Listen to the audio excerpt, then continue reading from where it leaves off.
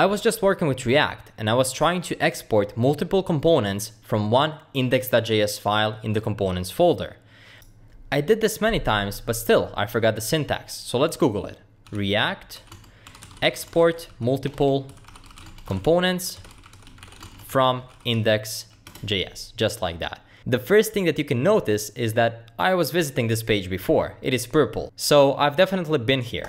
But let's go there one more time. If I scroll, I see the solution and this is the solution I'm familiar with. But for some reason, I couldn't remember the syntax of doing this. And now I copy the code, I go back to my Visual Studio Code, paste it, and everything works. But what happens? The next time I need this obscure piece of code, I have to Google it again and then go take a look at this page again.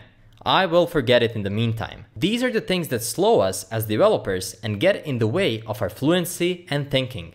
Not to mention, if it's a job interview, it's not gonna look good. So let's use memdev. As you can see, on Stack Overflow, every code snippet has a memdev logo next to it.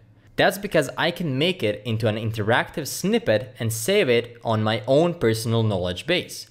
Let's hover over this and add it to our knowledge base. We click it, and then in here, you can see the create a snippet page. Keep in mind, this is just one click immediately in the Stack Overflow.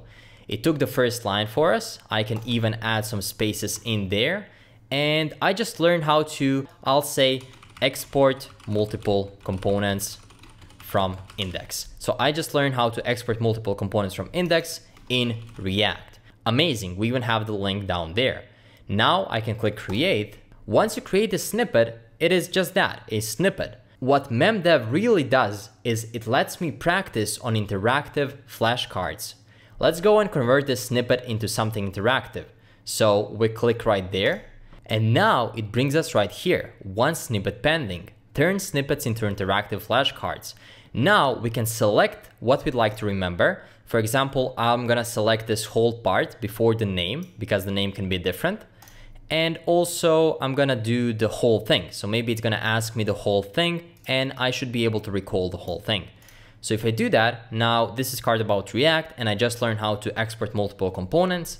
I click save and now this time I got a task that is asking me to turn in the whole thing. Oh, that's gonna be tough. So that's gonna be export default as I think it was comp comp1.jsx from, and we have to close it here, from dot slash comp1.jsx. And in here, we need to just put the comp1. So let's see if this is correct. I click submit and we can see that there was a small difference. I didn't need to put quotation marks around here, but everything else seems to be fine. So I'll say this is good. And that's it for this training session. Tomorrow I'll train again. It's going to ask me the same question again, but then it won't show it for a week.